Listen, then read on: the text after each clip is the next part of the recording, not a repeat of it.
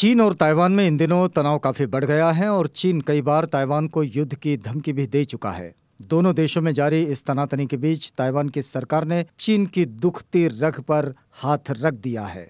दरअसल ताइवान सरकार ने निर्वासित तिब्बती धर्मगुरु और बौद्धों के वैश्विक धर्मगुरु दलाई लामा को लेकर कहा है कि अगर वे ताइवान आना चाहते हैं तो वे उनका स्वागत करेंगे। ताइवान सरकार के इस बयान से चीन के लिए मुश्किल का सबब माना जा रहा है।